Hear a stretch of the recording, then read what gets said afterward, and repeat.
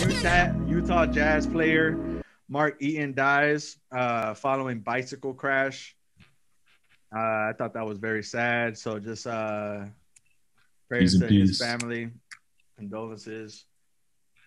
La la la. I don't want to. I want to say condolences to something else. Do it. Mother- motherfucker. Damn, he was seven four, bro. Mark Eaton. Yeah, he was seven foot four inches. That's a big That's guy. crazy. That's a big Yeah, his wingspan was seven six. R.I.P. R.I.P. to uh, Miami Heat.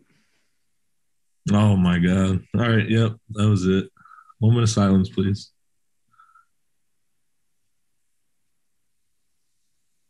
So we got swept. we got swept. We got bad. swept. Yeah. Um, we didn't try. I, I I don't even know what the fuck At all. happened. I seen on ESPN saying something like we're gonna make some major changes. I didn't even click on it because I just Well, we thought we thought Victor Oladipo was gonna pan out, but I mean 50-50 pan out. It was because he's already a, a hurt player. when we got him, we know he was already damaged goods, but we didn't know how long we can keep him for. so not having him was a big was a big setback too, because he would have been a key role. no, and We're talking about the Heat. yes, Yeah, bro. Sorry ass fucking piece of shit. Why why do we want to take all those threes? Bro, we played no defense. Oh my God, don't get me started. Jimmy Butler said he was stupidly ready for the playoffs. Yeah, I thought we was about to come out. Score 12 points to, in, in an elimination game, bro. 12 funky ass points.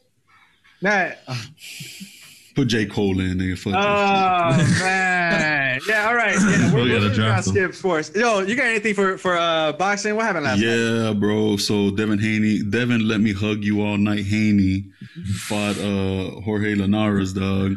So the first second round, Devin Haney was just just sticking his left hand, left jab out there, but every time he'd miss, he'd grab.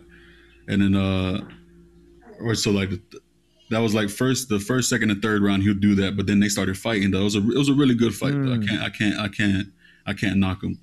He um they were throwing bombs, dog, throwing bombs. And in the tenth round, the other dude caught him one good time, and Devin Haney started stumbling back to his corner, Oh, bro. shit.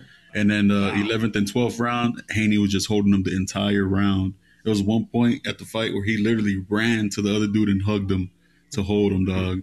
And the referee was like, "Well, now you're holding too much. Twelfth round, thirty seconds left. Like, all right, bet."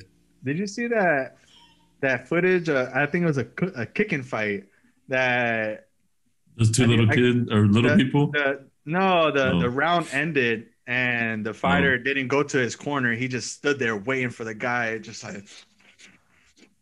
And like the other guy was just like all tired in his corner, and then he just looks at him and was like, "Oh shit!" Like, he's just waiting for me. He's going to this corner. Like he didn't need a break or anything. Oh, that was That's Israel psycho for Adesanya. sure. That was Israel Adesanya Ah, in uh in his Muay Thai days. yeah. Oh Hmm. shit! Oh shit! Bino, what are you doing?